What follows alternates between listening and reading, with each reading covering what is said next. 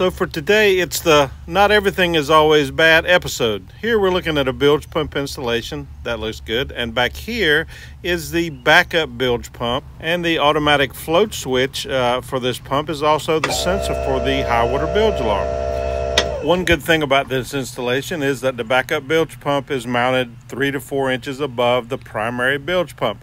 This ensures that the backup bilge pump is not resting in the normal accumulation of bilge water, which helps ensure that it will not become clogged or seized and it will be ready to uh, pump when activated and needed.